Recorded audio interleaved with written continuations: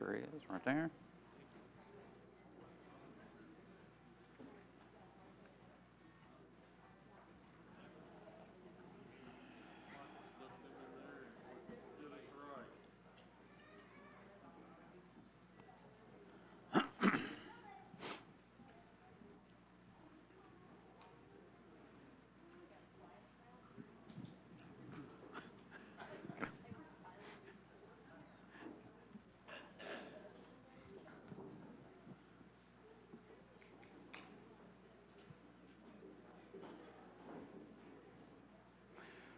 Well, good morning.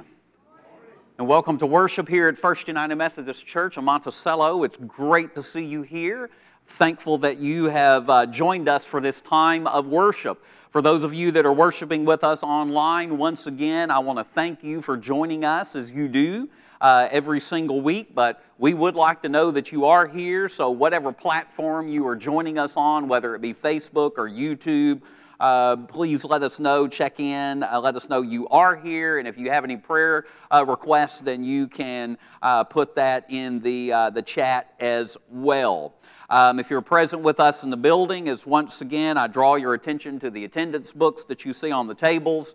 Also on the table, there is uh, information. This is uh, UWF a Sunday. I have to remember that. They have changed their names, and sometimes it's, it's hard to, uh, to keep that straight. But this is a day that we celebrate uh, women in ministry and what women bring to the life of the church and how they impact both our church, our community, and the kingdom of God. So, uh, a bulletin is there along with some information about our local uh, circles of UWF. Uh, we will be seeing uh, some women who are participating in this service, uh, who will be doing uh, ushering and things like that for our offering. And then in our second service, uh, we'll be taking more of a role in the service in, in uh, reading responsive readings and call to worship, and also doing a presentation. You'll see that there's a banner and a board here that gives a little information about what our local unit is doing. And we are excited about the work uh, that uh, our women in, in our church continue to, uh, to provide and share with us. Also, on this side of the room, there are the greeting cards that uh, we always ask people to sign, and those will be sent out uh, to those that are indicated uh, later on this week. But as we begin this time of worship this morning, uh, would you pause with me as we enter into a time of prayer?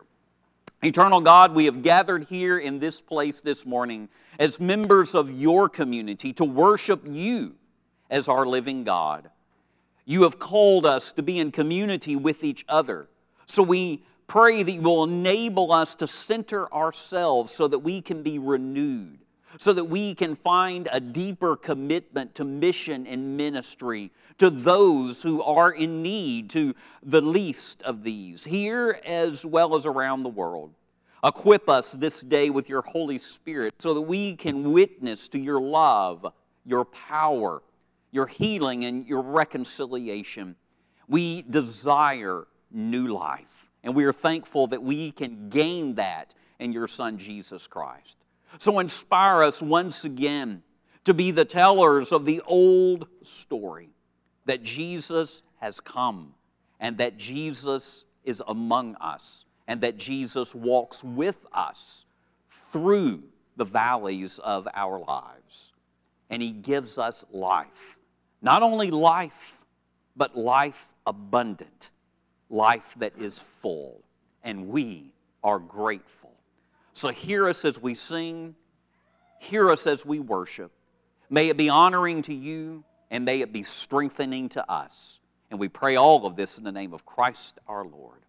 Amen. And now let us stand and let us turn our attention to the worship of God.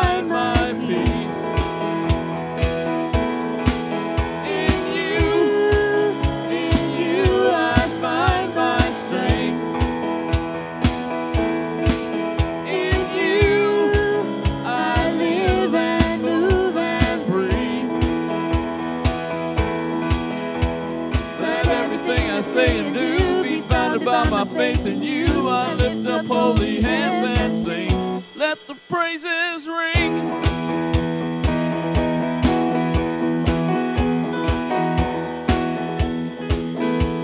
Oh Lord my God,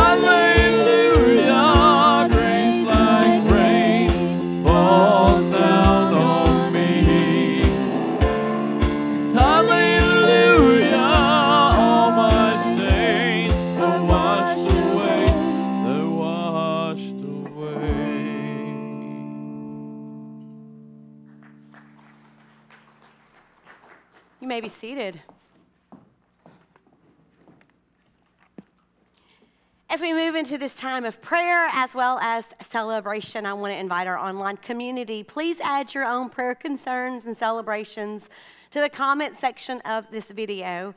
Our prayer team gets together every week, and truly it's an honor and it's a blessing to share your burdens with you. You can email us anytime, prayer at fumcmonticello.org. A couple of things to let you know about. Some of you may be aware that apparently there's a citywide cleanup next Saturday. And so Mayor Akers reached out to me yesterday and said, Hey, do y'all want to help? So I'm going to ask if the church family would like to be involved with that. Show up next Saturday. We will send a one call out. Uh, Mayor Akers said that he would get all the supplies for us and we'll pick them up. But sounds like a great citywide project because certainly we see lots of trash. And so excited for us to be a part of that. And if you're back from your spring break uh, fun and excitement, um, come by and help us. This week, we do not have our Lenten Bible study because it's spring break. So plan to come back next week for that. Next Sunday is a big Sunday for us. Please invite your friends. Plan to be in worship. Our newly appointed bishop, Bishop Laura Merrill, will be with us. Not only at the 9 a.m. service, but at the 11 a.m. service, excuse me.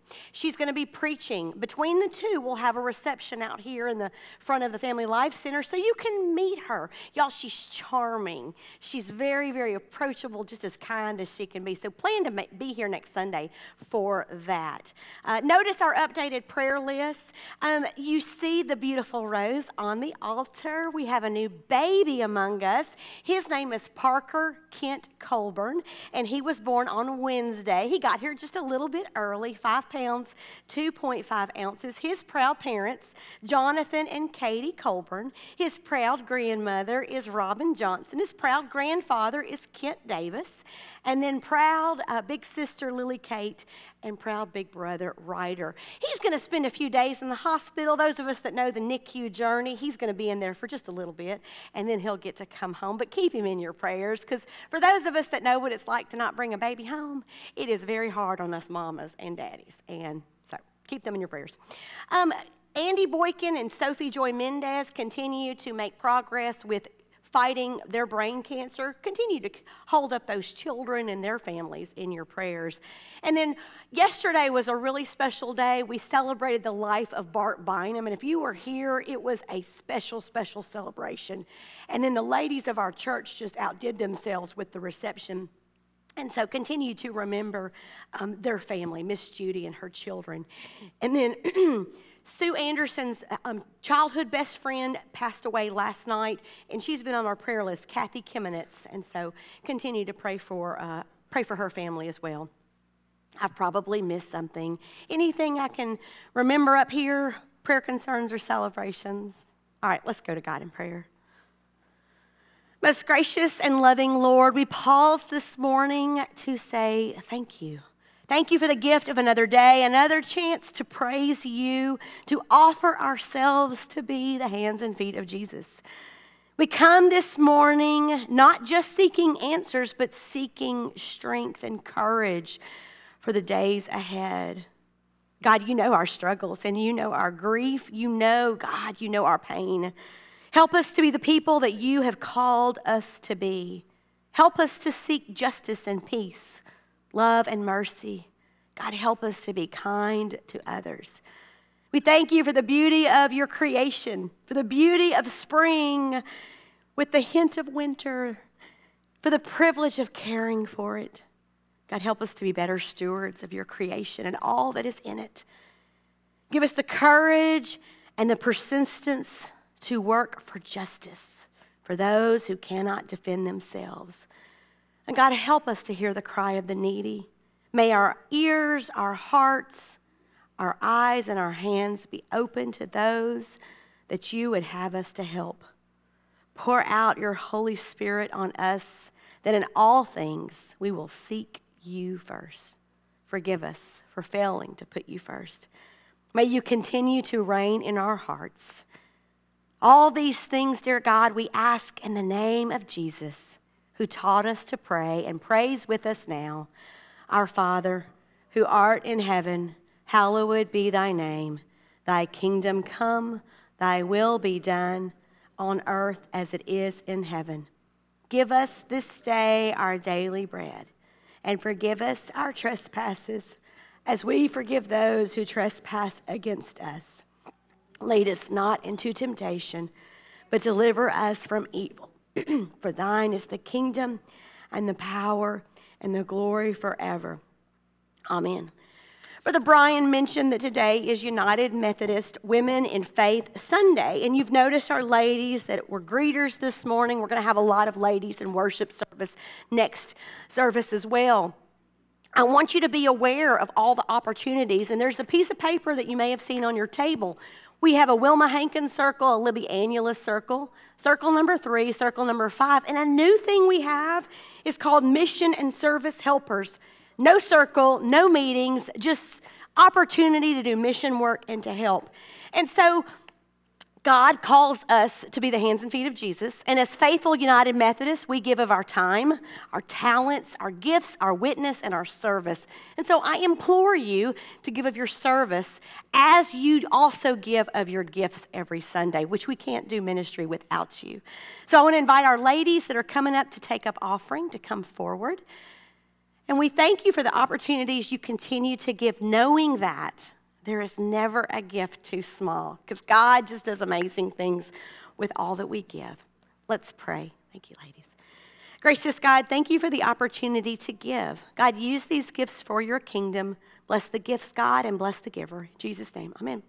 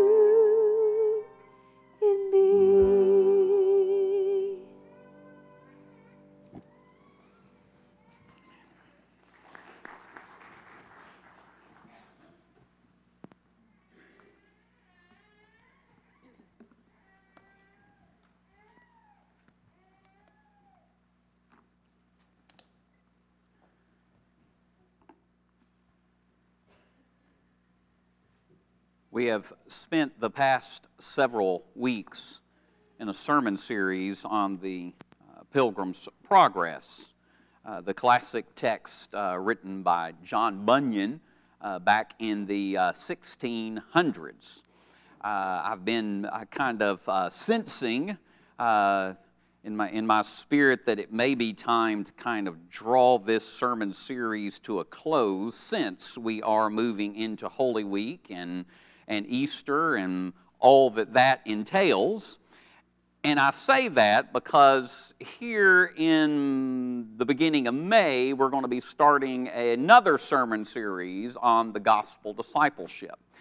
And we're going to give you the opportunity to determine and discern through this sermon series uh, who you are.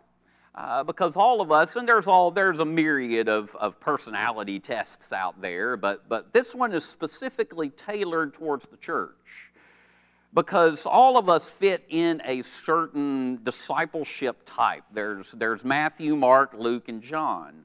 Uh, and we'll unpack this a little bit more. But I, I took the test the other day to see whether anything had changed, and nothing changed. I, I am true blue a Markan, and that means that a Markan is more spirit led. And you get into something and you kind of feel like, I'm done with this. And I've often wondered why a lot of times I get in the middle of a sermon series and I kind of lose interest. It's not that I lose interest in the Bible, it's just like this is not where we need to be anymore. So we just move on and I don't have any problem with it. We hadn't completed it, but hey, who cares? Let's move on and let's do what God, I think, is, uh, is, is asking and calling us to do.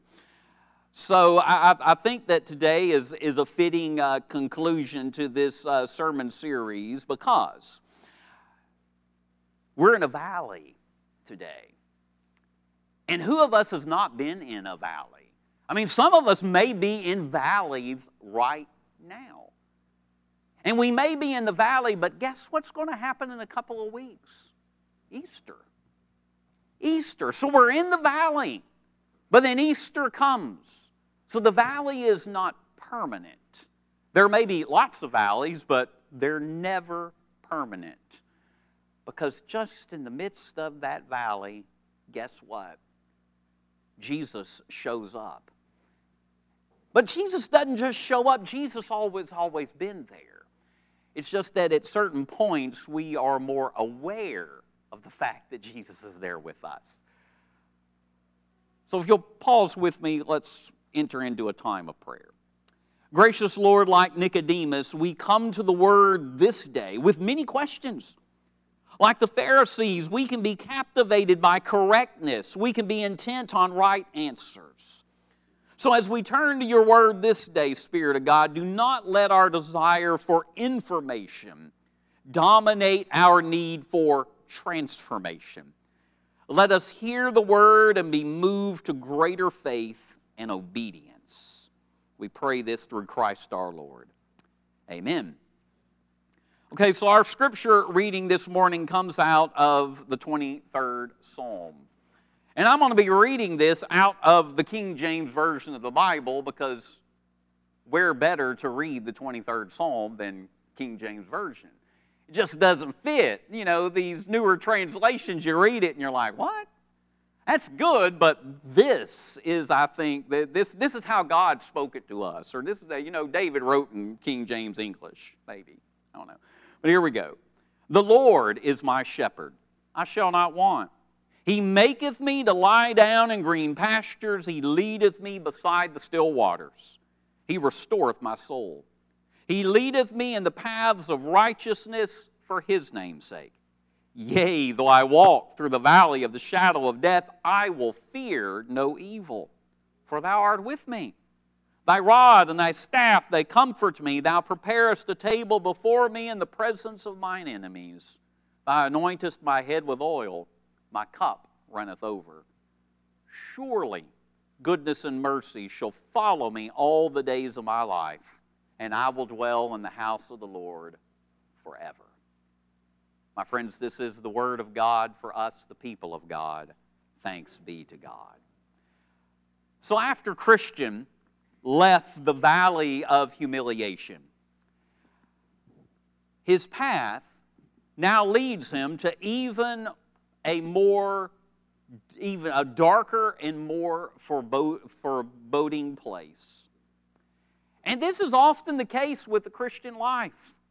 As one period of difficulty often follows another. Because I think that life is a series of valleys.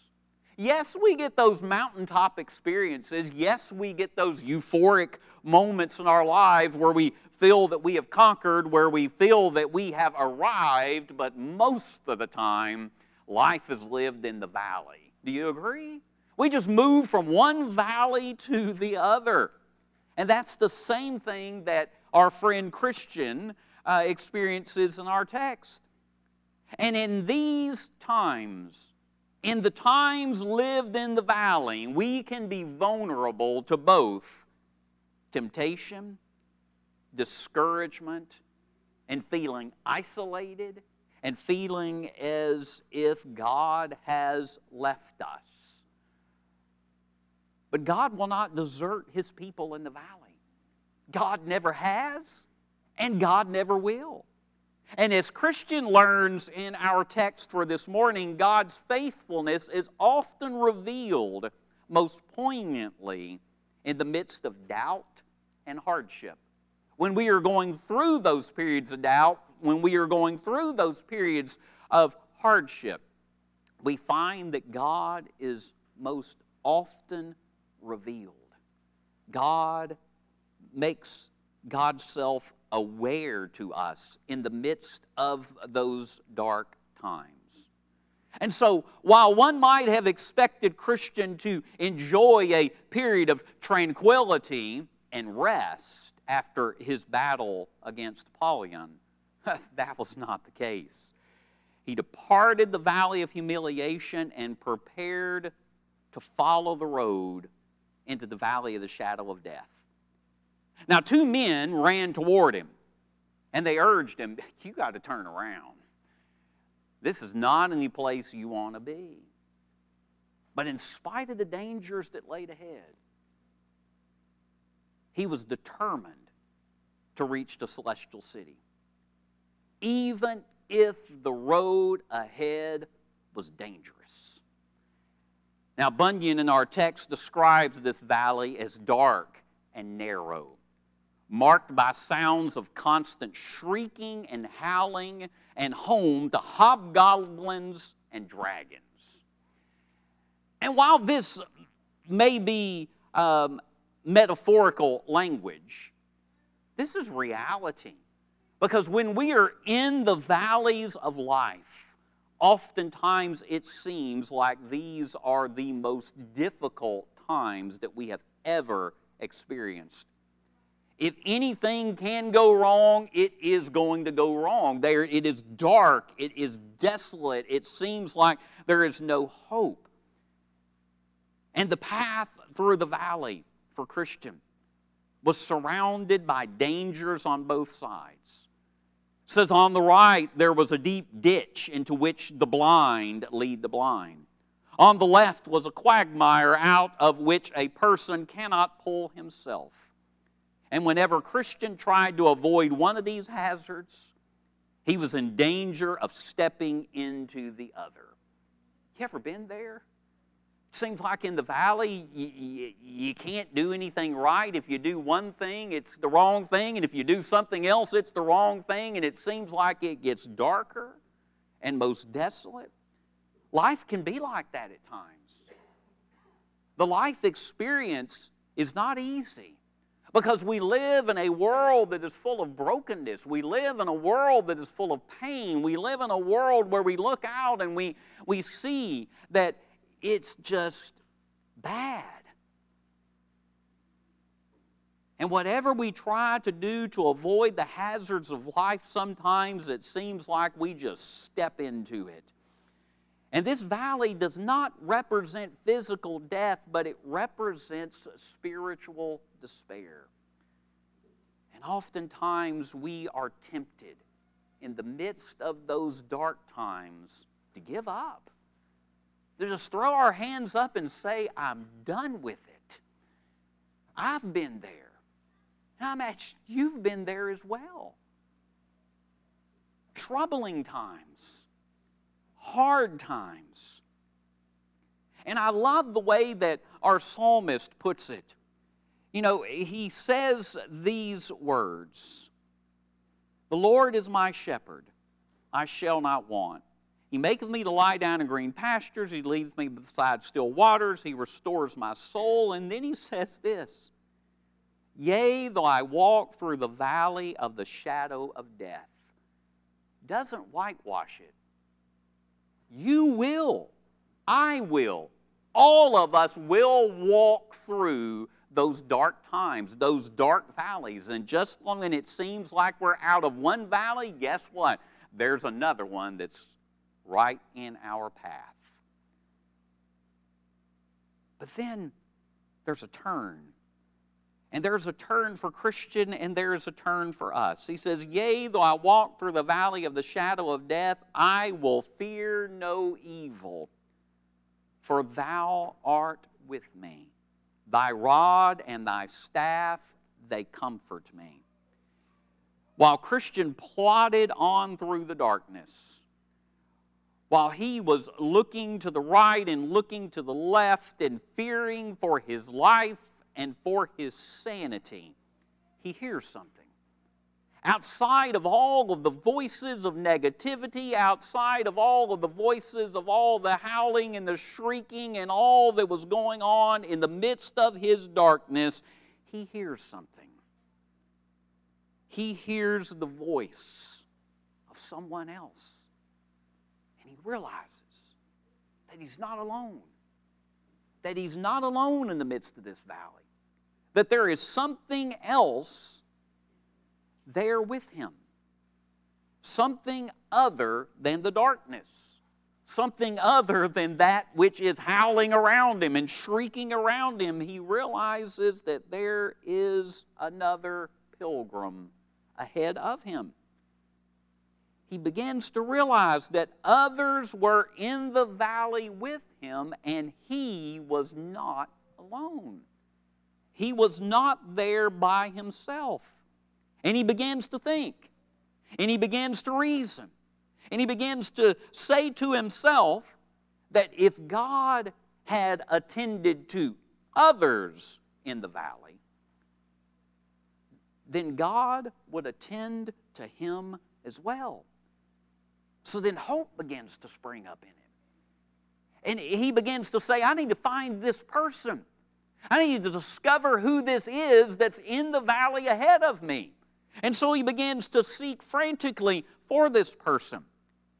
And he hopes that he can catch up with him so that he can have companionship on the journey. You know, the interesting thing is, is that we all go through a valley. But none of us go through the valley of alone because we're all on the same journey. We're all in the same valley. We're all in the same place. We all live here. There's nowhere else to go. We're on the journey with one another. And so let's run up and catch up with one another and walk hand in hand through that valley, encouraging one another. And, and here's the interesting thing about the person that was ahead of him his name was faithful. We all need someone who is faithful to walk with us and encourage us as we go through the valleys of life. So he catches up the faithful. And they began to walk through this valley alone. They began to walk through this not alone, but together. And it makes the valley just a little bit more bearable. Yes, it's still tough. Yes, it's still hard, but he goes through this valley with someone else to encourage him, to care for him, to pick him up when he's fallen down. And so, as the sun begins to rise, Christian looks back and he sees the dangerous terrain through which God had led him. And when he reaches the end of the valley, he passed by a cave where two giants had lived for many years. And he begins to see that that this valley, even though it was difficult, he was able to make it through. And he had a Christian friend that was with him. And when they left this valley, they began to sing about God's deliverance as they went on their way. And I, I, I continue to be captured by the words of, of the 23rd Psalm, which echo what's going on in this text. Listen again to these words. Yea, though I walk through the valley of the shadow of death, I fear no evil, for thou art with me. Thy rod and thy staff, they comfort me. Thou preparest a table before me in the presence of mine enemies. Right there in the midst of the valley. God doesn't wait till we get out of the valley to prepare the table for us. He does it right there in the midst of the valley. He provided for Christian what Christian needed in the valley, and God will do the same for us. Right in the midst of the valley, His rod and staff comfort us. Right in the midst of the valley, He prepares a table before us in the presence of mine enemies.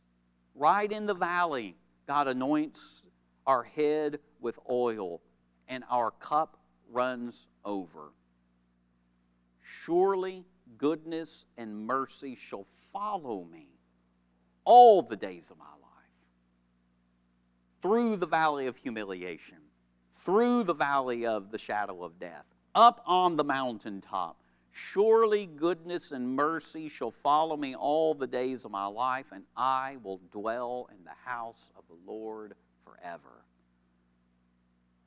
All of us find moments in our lives where we feel beaten down, where we feel forgotten, where we feel despondent. But the good news is we're never alone. God is always with us, and God is always providing for us. Sometimes all we got to do is look up, all we got to do is look around, all we have to do is listen not listen to the voices of the world around us, but listen. Listen for those who are right there with us. Listen for those who are encouraging us. Listen for those who are praying for us. Listen for God. And when we listen for God, we will always hear God. Oftentimes, in the midst of the valley, and it's, it's, it's difficult because we look at our situation, we look at what's going on. You know, several years ago, I, I, I began to uh, pray uh, for individuals and, and even myself who were going through uh, deep and, and dark times. And, and one of my prayers was this help us to see. Part the clouds so that we can see your goodness and your grace and your glory. Because times may be dark. The light is always shining, but oftentimes it, it, it becomes eclipsed by the darkness. That doesn't mean it's not shining, it's just harder to see. So let us, in the midst of the life in which we live, look up and look around. And there we will discover God with us in the midst of our journey. In the name of the Father, Son, and Holy Spirit, let's pray. Oh God, our prayer this day is that you will help us to take what has been said this day and we can begin to believe it in our hearts. And oh God, we pray that what we believe in our hearts, we can then begin to practice in our lives. Looking around us in the midst of the darkness and seeing the goodness that is there and seeing you who is ever walking with us. We are thankful for your presence. We are thankful for your love. In the name of Christ our Lord, we pray. Amen As we stand to sing our final song of this morning, I, I trust that, that we can all truly make this a, a time of commitment. Whatever it is that we need to commit to doing, maybe it's professing faith in Christ, maybe it's coming back to Christ, maybe it's uniting in membership or fellowship with this church, maybe you just need to simply pray. Pray to God in the midst of the valley that you are in, that you can see the light of Christ shining, that you can see the friends that are there with you, and you can commit yourself to the God who has committed himself to you. Whatever it is, I pray that we will not let this moment pass us by without doing what God is calling us to do. Let us stand and let us sing.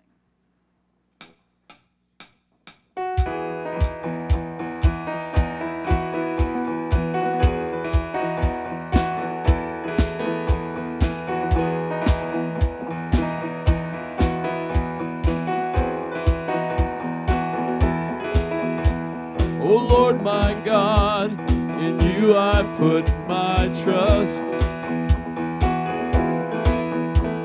Oh Lord my God,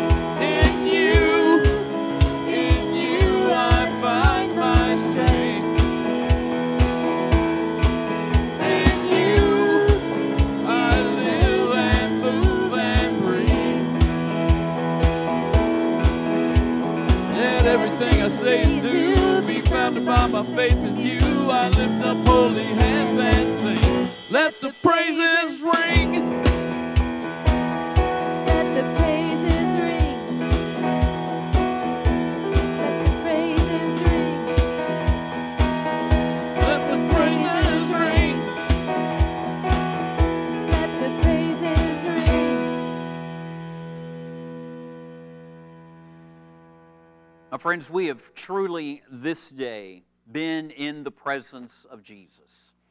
Let us continue to abide in that presence, to live in that presence, and to share Jesus with others. As we go through this week, let us be reminded that we do not go through life alone, but we go through life the presence of Jesus around us and in us and among us. Go forth in the name of the Father, Son, and Holy Spirit. Amen.